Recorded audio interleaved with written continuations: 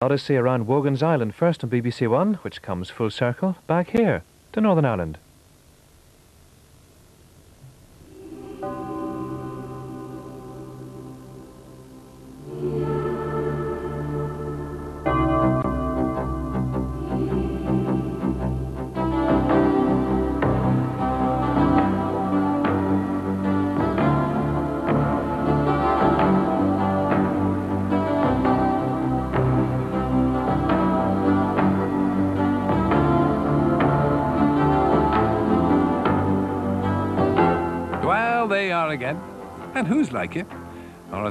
Around this neck of the woods, how's about you? This is our final feckless fling together.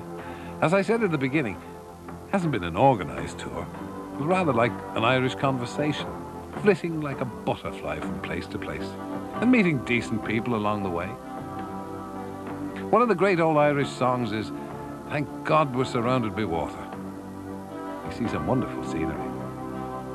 The trouble is, you never know what you'll find washed ashore on a nearby rock. Well, we've taken it easy and slow around the four green fields of Ireland, and our caravanserai has found its final resting place here, in Northern Ireland. The threatening, storm-racked castle of Dunluce, built on the black basalt rocks of North Antrim in the early 14th century by the Norman Red Earl of Ulster, Richard de Burgo spanning the centuries of the province's violent history. A violence so recent that all of us remember, particularly those brought up in the eye of its storm, like the leader of the pop group D:Ream, local dairy boy Peter Cunnah. I wasn't really that aware of it other than I was, you know, trained in early years just to sort of like stay away from windows and, you know, watch my P's and Q's and stuff and things like that. But um, Did you take part in any of the riots or throw a few stones? I've got a wee scar just under my eye, there, where I, I got hit by a brick in a riot um, accidentally and had to get some stitches thrown in. But um, my experience was more like standing on the edges of them and, and, and um, picking up like uh, plastic bullets occasionally and trying to flog them to tourists for about a fiver, which, which is kind of like sort of puts it in perspective. There's I even had the commercial lead even then, you know. Yeah, I mean, it looks so violent when you see it on the television, and it is, and terrifying. But somehow, when you're part of it, in the middle of it, yeah. as a young person, yeah. it's more like yeah. a kind of carnival. It's some sort of game, and sometimes it was almost like the, the excitement was in there when the bin lights were going and things like that. So, yeah, you know, it was all the generation that grew up. In. Do you think, if you're going to settle down, would you come back? Would you bring up your children in Northern Ireland? I, I couldn't imagine bringing up my kids in London. I'd have to bring them up here, yeah. Yeah, cause it's, it's well, I, you know, I, I got a good run at it. Why should I, you know, be nice something that works for me? So is that instrumental in you deciding to do your video from here? Yeah, well, the song was actually written about moving away from Ireland, and it, sort of plays on that sort of emigration thing to, to an extent, and certainly the move I made and the love I had to lose and leave behind. So coming back to it meant uh, it was real for me. Good.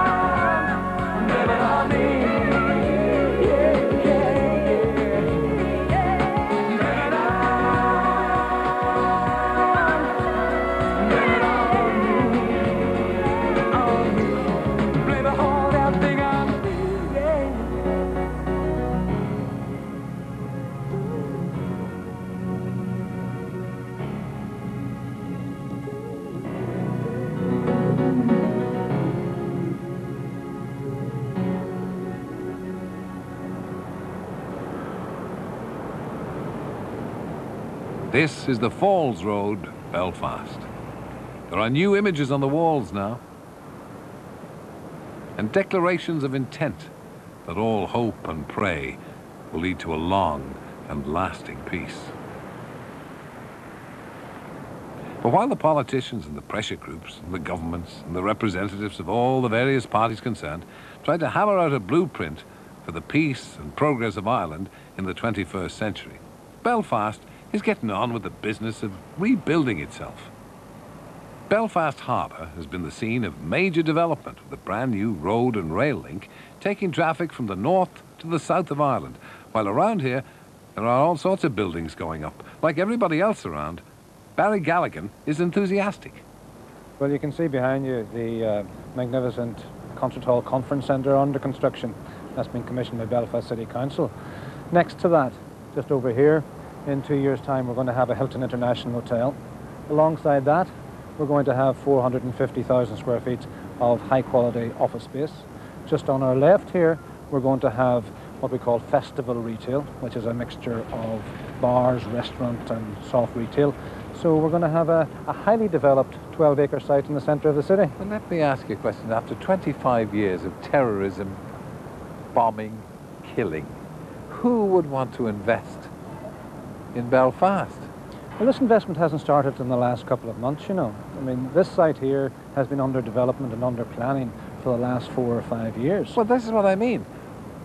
Given the history of the city, who, who would be optimistic enough to think that they could build anything here and that it would succeed? Well, take the example of Hilton International, who are very hard-nosed business people and run a very good operation in 165 hotels worldwide. They're not a charitable organisation. They're coming here to make money. Now, what they see here is a site, a 12-acre site in the heart of the city. Look at the tele look at the communications network around us. Over here, you've Central Station. From next year, an hour and 35 minutes to Dublin. Just behind us, two and a half miles away, we have one of the city's two airports, uh, City Airport. Up here, we have the SeaCat terminal, one and a half hours to Scotland, and 500 yards to the heart of Belfast city centre retail. I mean, it's a, it's a magnificent site, and they have recognised that.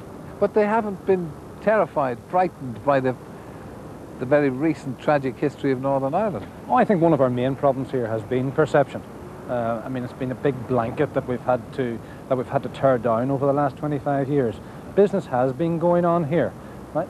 I think if we're going to if we're going to achieve something now, it will be the removal of that perception. And I think what people will find, industrialists and tourists, when they start coming here again, they're going to say, we should have been here years ago. Sadly, there are lasting images of what has been endured here over the last 25 years, with innocent victims caught up in the conflict. Memories that will stay with people like John Scott. My niece Wilma, she was out doing her day's shopping on the Shankill Road and caught up in an IRA bomb and along with eight other people, she was killed. And three months later, uh, I had another niece, Sareen, and she was coming from work and this time it was loyalist paramilitaries and she was caught up in the crossfire um, for three months, she was on a life support machine. She's now out of hospital, but has, still has to attend hospital three days a week. She's to go to speech therapy to train her vocal cords again, how to speak, and she'll live with those scars the rest of her life. My family over the last 10 months, we were touched by the violence. But for 25 years, there's a lot of other families that has been touched by the violence. And for those people, it'll take a long time to get over it and to start trusting other people again. And probably not in our generation, but maybe the next one. Obviously, Johnny, I hope that peace will come. Oh, I hope it'll come, yes. Yes, I do. Uh, I think the majority of people in Northern Ireland hope it'll come. And from both sides, it'll have to come. I have a son, he's 22, just thinking of getting married. I have another son of four years of age, and I mean, for their future, it'll just be great if there was peace, that they can look forward to this, not have to walk about looking for people with bombs or guns or anything like that. The future for all of Ireland obviously lies with the young. Hopefully, this next generation will grow up in a country that knows peace and not war. This particular school is on the Falls Road, in the heart of the Republican area of Belfast, and the teaching staff and pupils here speak only the Irish language. Mai hu, tá salanan, tá chlotha, agus tá ganihom. An commatá ar salan atá éon gláán, go dtí tá sé cosala. Salan tá éon gláán in ar bé? It'll no doubt be strange to many to hear children in a British city speaking only what sounds like a foreign language and to have this part of their formal education conducted entirely in Irish. Does Ireland's youth really need what some would think separate, divisive development? I asked the head teacher, Fergus O'Hare, why the school was set up in the first place. The reason for starting this school was that uh, there exists in the city at the moment uh, five Irish language primary schools. Uh, they have been opening over the last 20 years or so. Um, and the position has been that children leaving those schools have had, having had their primary education completely through the medium of Irish, have then had to go on and, and uh, go to English medium secondary schools. And obviously that has disadvantaged them. If the medium of their education is Irish, uh, not only are they changing a new school, which can be traumatic enough at age 11, um, but they're changing the language of their education as well. So it was very important that an Irish medium secondary school be started. This is an assertion of Irishness. It's an assertion of Irishness. It's, uh, it's important. I think it's important for a, a lot of reasons. We're lucky in this country to have a, a rich and deep culture uh, which can enrich people's lives. Uh, and the language is the key to that culture and also the base of that culture. Um, we have the music, the dance, the literature, the poetry, and it's all, the language is the base and, and, the, and the, the key which opens that, that whole uh, cultural wealth to a lot of people. But it, uh, not part of the culture of the majority of the people living in Northern Ireland, is it? It's the, it's the culture of everyone living on, all, on, this, on this island. Um, it's only in the last couple of hundred years that the whole of the island has become English speaking. But isn't Irish seen as the language of the nationalists? That may be a perception at this point in time, um, but it's not a perception which I believe has existed for a great, for all time, and it's not a, a, a, a perception which necessarily need exist. And I think that, that, the language is the language of everyone in this country. Um, it ties us with, with our surroundings. I mean, if you, the name of the town, Belfast, it doesn't mean anything in English. It's just a collection of letters. In Irish, it's Béal Feirste, which tells you what the, the, town is. It's the mouth of the Farset River, which is the river in which, which Belfast was situated. The Shankill Road, and that's a very predominantly loyalist area. Uh, the Old Church Road, it's, it's an Irish word. All of the townlands, all of the, lots of the areas in Belfast and throughout the north are all named in Irish. How are you preparing your children for Europe? for a bigger world by teaching them Irish? Uh, who are they going to be able to communicate with outside Ireland? Well, I think as the world becomes more monocultural, in a sense, as we become, uh, you know, the, the Coca-Cola culture takes over, I think more and more people are realizing the importance of, of local cultures. That it's not just good enough to be uh, part of a great big bland pop music singing world, that it's important that we realize the wealth of culture and tradition that each of us has, not only in Ireland, but in, in, in lots of countries around the world. Uh, and that people uh, learn to appreciate that and to enjoy it and to, uh, to give it to the rest of the world. Ireland's even divided by sport. The soccer teams are separate, yet the Irish rugby team plays as one. Who can explain it? John Sugden. Rugby and soccer are different throughout the world, in, certainly in the, the islands of, of Britain. Um, rugby is largely a middle class sport. I think the middle classes kind of buy the line that sport and politics can be divorced much more readily than the working classes who, after all, particularly in Northern Ireland, have been at the cutting edge of the troubles. And soccer's their game, it's their preserve. And it's also, for them, a symbol of their national identity. And the Northern Ireland soccer team, for instance, is one of the few things that the Loyalists have left which symbolically reminds them that they are something separate and distinct from either England on the one hand or the Republic of Ireland on the other. So you think it might be one of the last things to come together then? That's right. It's what you know, Stormont's gone. Many of the other symbols that remind them that they were in the ascendancy. The Northern Ireland football team is still a distinct Northern Ireland thing, and uh, you know there's a fear they're going to be gobbled up either by the rest of Britain, England, or certainly by the Republic. So they're, they're, they're so uh, vociferous about their support for that entity. And then you have the division of Gaelic, hurling and Gaelic football which exists here in Northern Ireland, which seems to be the province of the, the, Catholic nationalist minority. Well, it is indeed, yeah, and it's very, very strong. If you look at this campus, it's interesting. If you look behind me here, the, the playing fields, I mean, you don't have to do this in England, but it costs us a fortune because we've got soccer pitches, rugby pitches, Gaelic pitches, camogie pitches. There's two families of sport we have to cater for here. And unfortunately, there's not much mixing across those two families of sport. Now, the game that's going on behind is soccer, obviously, is a difference because both communities play, play it. But precisely because both communities play it, that's where the two tribes, in a sense, come together most often. And that's where often we find the most conflict because the two communities meet in the name of soccer. Uh, and it can lead to trouble and violence. And how about boxing? Boxing seems to, to cover all the country, doesn't it? How come boxing, the most violent of sports? Well, boxing's fascinating. I mean, it, it is very Irish to say that if everybody took up boxing, then maybe the fighting would stop because boxing does have very, very strong traditions um, and it's almost a sanctuary from the troubles here. I spent a lot of time in boxing clubs in parts of Belfast, parts of very, very nationalist areas, and I've been amazed to find lads from the Shankill Road from East Belfast in there training alongside their Catholic counterparts, and there's never any sign there's going to be any trouble or tension. And they can also travel very freely in and out of each of the other communities with a kind of uh, uh, a sanctuary about them. Yeah, but here are you, an Englishman. You've been here for 12 years. Yeah. You're a professor here. What keeps you here then? I mean, It's, it's a good place and the people are wonderful. And I just hope that uh, in the next few years we see big changes. Certainly my children are going to be brought up here. And I'd like to think they'll, they'll have a life which is full of peace rather than full of bloodshed. John Sugden, sports sociologist with the University of Ulster. Now, someone who has a lot to say about sport is the Labour MP Kate Hoey. At weekends, she often takes a break from politics to visit her brother's organic farm not far from Belfast, where proudly she showed me its one and only cow. And I asked if she took a particular interest in farming. Yes, I do, uh, but only on. I wouldn't want to be a, a minister for agriculture or anything, but I, I take an interest in what he's doing because I think he's he's pioneering and he's uh, he's worked very hard at it, and I like the uh, the vegetables he sends back with me. You, you, your life, your career is in politics in Westminster as a, a Labour MP. Do you miss, I know this sounds silly, the peace and quiet of Northern Ireland?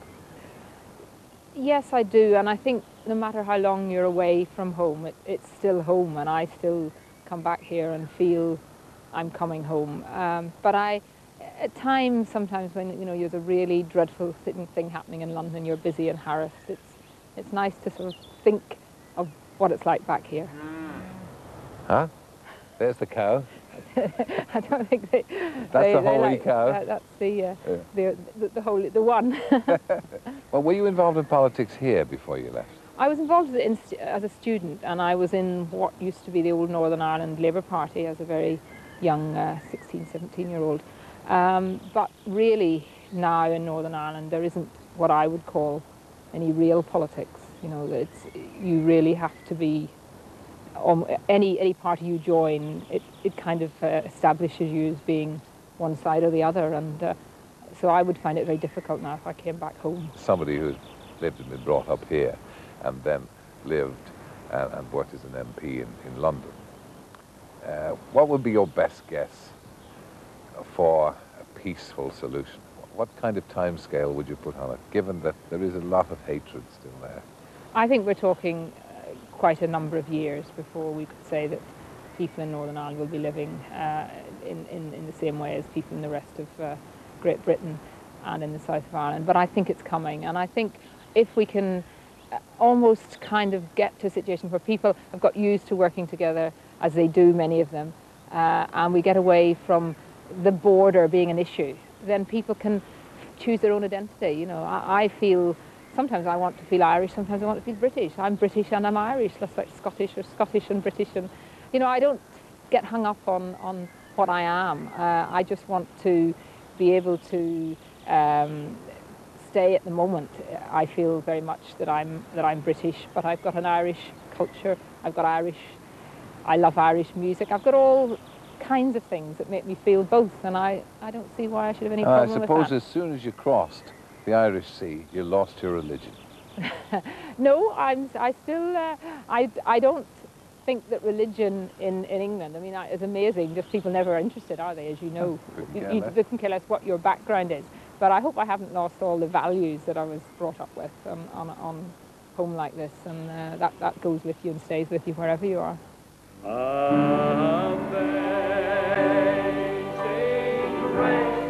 At the Whitewell Metropolitan Tabernacle in Belfast, a particular kind of religious worship is on offer.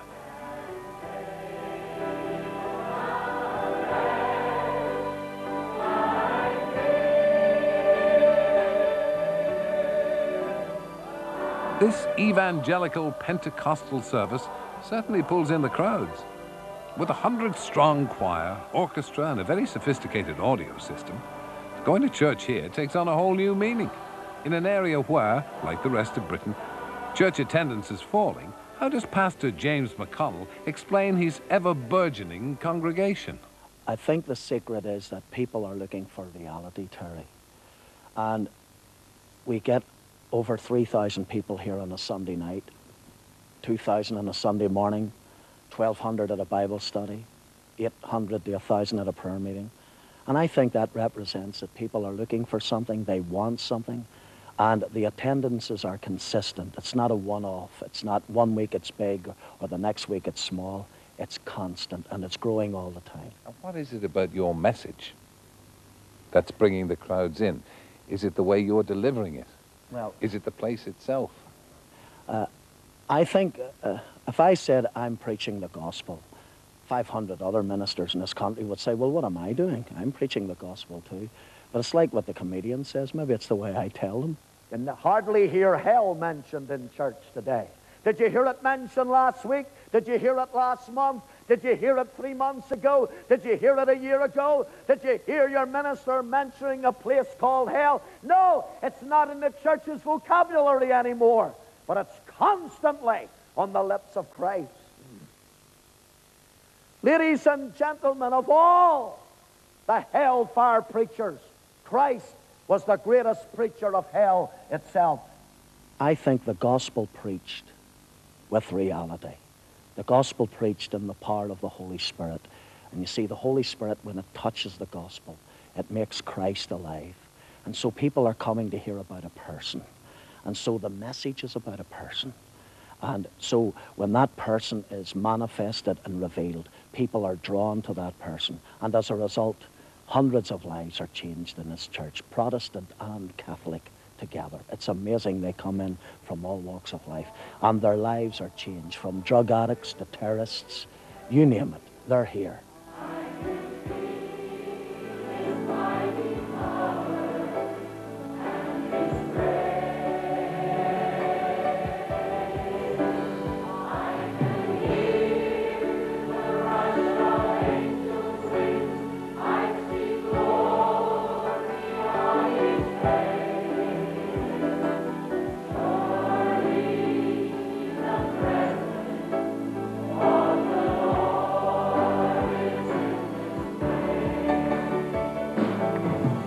Never went to America for money. There's no American dollars in this building. This money came from Northern Ireland, came from the people here. They give of their income, they sacrificed, I sacrificed. I'm still sacrificing because we, we built it, uh, the cost was seven million, we owe one million, and we're paying it well. No, no sweat, we're paying it very well indeed. And once we pay that off, we're completely clear. And when you think of it, here is a congregation of 1,500 people who raised me six million pounds. And we borrowed a million just to get in, and now they're paying it off. But when we entered in on the 19th of February, on the 20th of February, we doubled our congregation. We have now over 3,000 coming here every Sunday night.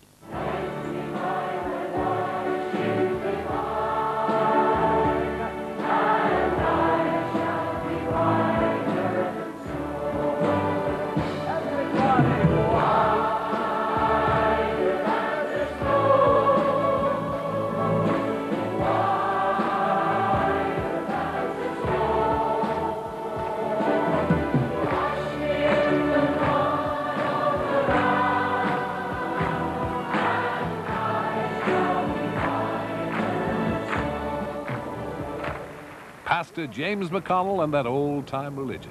There's a bit of singing going on here at the Opera House, opening for business again after the 1994 bombing, which also closed the adjacent Europa Hotel, now restored as well. Like everybody else around here, the Arts Council have learned to bounce back. People here are very resilient, you know, and happily we've been able to rebuild both this opera house the help of taxpayers' money and this uh, hotel, as you say, the Europa is being rebuilt uh, now yet again and being improved. And so people here have never sort of laid back, laid down under it. They've been resilient, they've gone out, they've enjoyed themselves. The opera has continued to be produced I won't say without interruption, but certainly it's come back after every interruption and gone on. Theatre always has a very important role to play in that sense, in, in, in the sense of giving some quality to people's lives, where otherwise, you know, there may be sadness, unhappiness, whatever. And this theatre has been very important uh, in the regeneration of the, of the active life of the city centre in Belfast. Because I think the ceasefire has, has put an entirely different colour on everything here. I mean, the mood has lifted, the mood has changed. Uh, and I think in that sense, we're all breathing a sigh of relief. I think it's too early to talk about political unity, but I would really hope to see in the quite near future occasions when perhaps Opera Northern Ireland could do a joint production with Dublin Grand Opera where culture can go backwards and forwards across the border. After all, two great cities, only 110 miles apart, it seems madness that we can put on Don Giovanni for a week here and then take it down. What we should be doing is then going on to Dublin and they should be bringing something they've done up here. And I hope those days are really very close. Let's hope he's right. Not just about the theatre, but about a whole new chapter of understanding that might be unfolding throughout Ireland. Now, before we go, I'd like you to meet Sam Stevenson. For the past 30 years or more, Sam has been making violins in his garden hut, not far from Belfast. He always tries out the instruments in his greenhouse, where the temperature is just about right.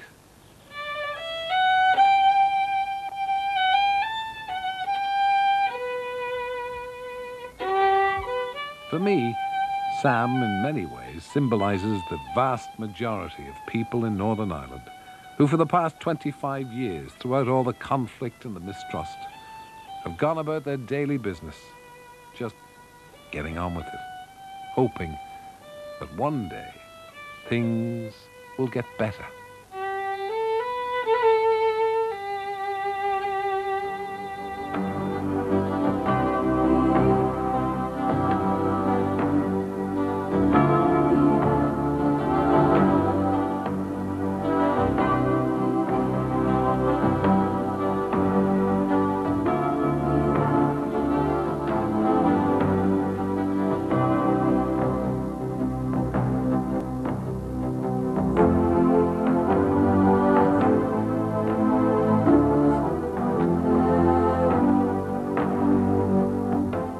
Shay Shinnacordia.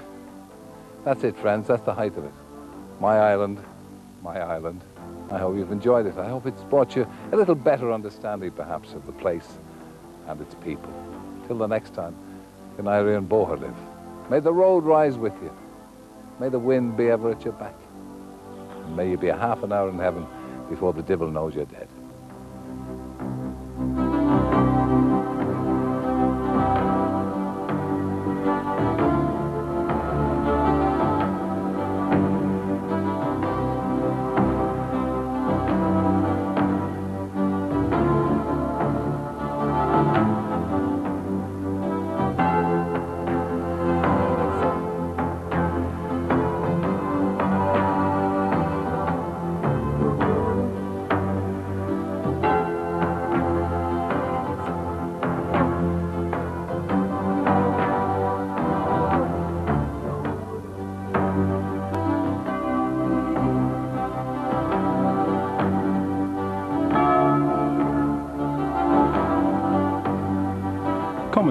Comedy for BBC One in a moment, and Louis and Briggs take crime detection to great heights.